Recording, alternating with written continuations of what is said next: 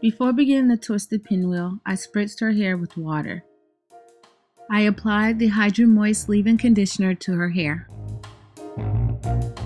Then I followed with the 2-in-1 Divine Shine Gloss and Thermal Protector for shine.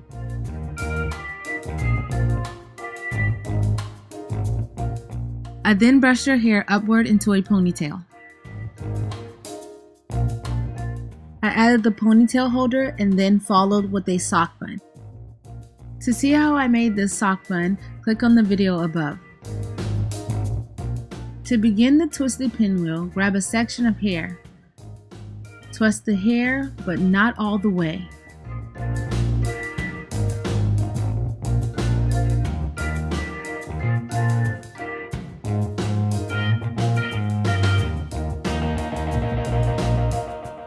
Loop the twist through and under the sock bun.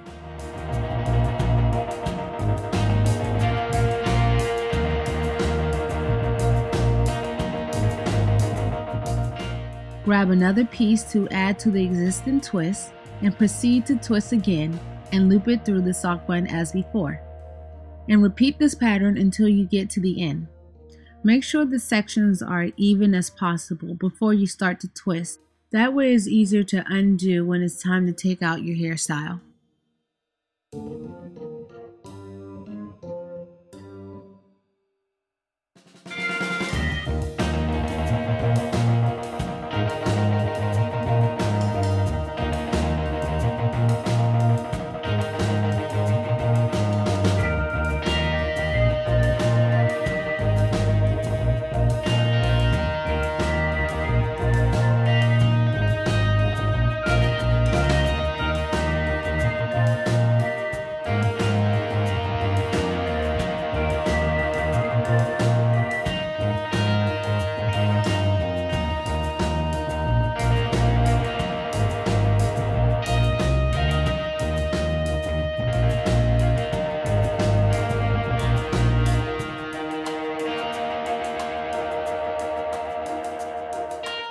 As you can see, I am using a white sock for video purposes.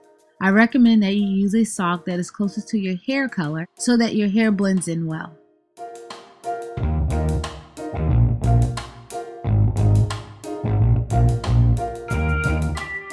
I hope you enjoyed this tutorial.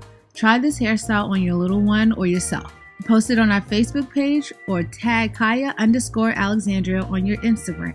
We would love to see it. Have fun, love peace, and no grease.